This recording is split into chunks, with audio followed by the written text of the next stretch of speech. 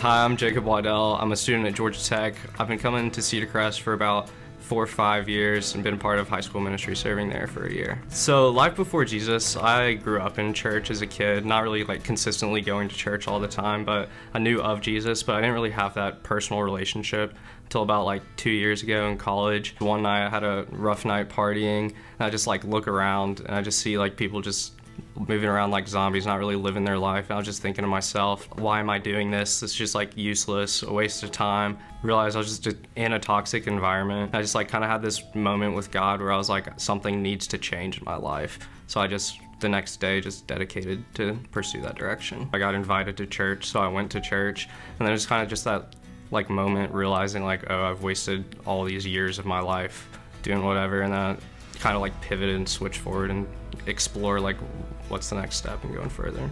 Things in my life that changed are just being more like peaceful and just being in comfort in Jesus' presence and just developing those fruits of the Spirit instead of leading down the path of destruction. Just seeing how my life changed in those aspects just wanted me to pursue that further.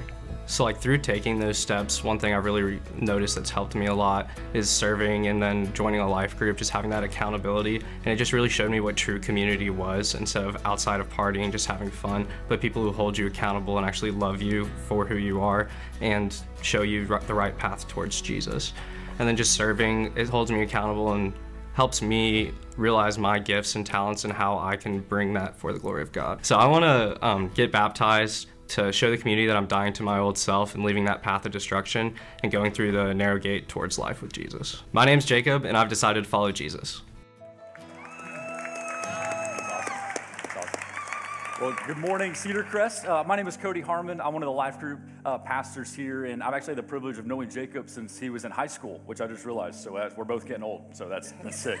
Um, but uh, but just man, just getting to see uh, your relationship with Jesus grow, and like you said in your video, you know, of going to school and trying to figure all of this out for yourself, and and then even today, you know, taking the the hope of Jesus, making it your own, and deciding to follow Him is awesome. And so we're so excited to celebrate with you uh, this morning with that. and so I just have two questions for you this morning. And so one is, have you decided to follow Jesus? Yes. Yes. And have you committed to follow him the rest of your life? Yes. Awesome. Well, man, it is my honor to baptize you in the name of the Father, the Son, and the Holy Spirit. Buried with him in death,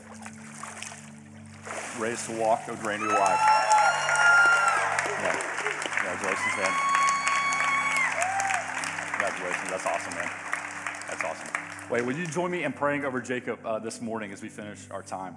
God, thank you for Jacob. God, thank you for the way that you um, have worked in his life. God, the way that you um, ha- have encountered him, and God, the way that, that he has just followed through in obedience and, and wanting to follow you and pursue um, you with his whole life. And so, God, we pray that from this day forward, God, that as he is following you, God, that you would use him to bring other people to you, God, that you would reveal more of yourself to him, God, that his life would never be the same because of what you are doing in and through him. And so, God, we thank you for Jacob and that we get to celebrate with him this morning. It's in your name we pray. Amen.